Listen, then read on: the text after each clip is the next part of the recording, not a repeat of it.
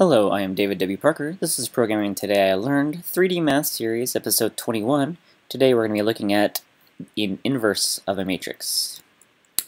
The inverse of a matrix, m, is the matrix m to the negative 1 that we multiply m and m to the negative 1 together, we get re result in the identity matrix. And it works either direction, m times m to the negative 1 or uh, m to the negative 1, m is equal i. So I'm going to refer this as the uh, the inverse matrix. So m inverse matrix or inverse matrix m is equal to i. A few notes about inverses. Uh, not all matrices have an inverse matrix. If there's a row or column that's all zeros, it'll always end up a matrix full of zeros when multiplied. Uh, if it has an inverse, it's called invertible or non-singular. And if it has no inverse, it's called non-invertible or singular.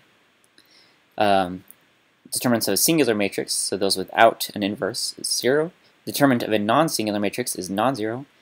Any invertible matrix M, the vector quality equality V times M is equal to 0 is only true if the vector uh, is zeros. Uh, to compute, first we need to figure out what the adjoint of M is. And the adjoint of M is the transpose of the matrix of its cofactors. So, as you recall from previous episode, there's a matrix up here. We're going to determine the cofactors, which is what we looked at previously with the plus, minus, plus, minus, plus, minus, and eliminating the excess rows as we would do in a projection. And so we'll remove 1, 1 to get this remaining vector in the middle here, and then compute its determinant uh, and so forth. So each of these values, 6, 0, 12, 1, 6, negative 16, negative 5, 6, 8, uh, very simple equations. If you need to remember how to do that, go check out the previous episode that has the cofactors in it. Um, so then we are left with this matrix here. And if we take the transpose of that, so we just flip it over here, uh, we have the transpose, and now we can determine the inverse matrix by taking the uh, adjoint of m and dividing it by the determinant of m. So here's the transpose, which is the adjoint of m, divided by the determinant, and this is results in the final uh, inverse of m. A few uh, last properties that you should know about inverse.